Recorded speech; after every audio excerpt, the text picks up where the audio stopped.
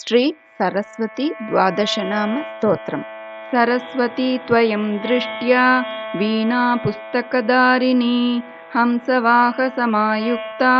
विद्यादानकरी मम। प्रथमं भारती नाम द्वितीयं च सरस्वती तृतीयं शारदा देवी चतुर्थं हंसवाहना पञ्चमं जगति ख्यातं षष्ठं वागीश्वरी तथा कौमारी सप्तमं प्रोक्ता अष्टमं ब्रह्मचारिणी नवमं बुद्धिदात्री च दशमं वरदायिनी एकादशं क्षुद्रघण्टा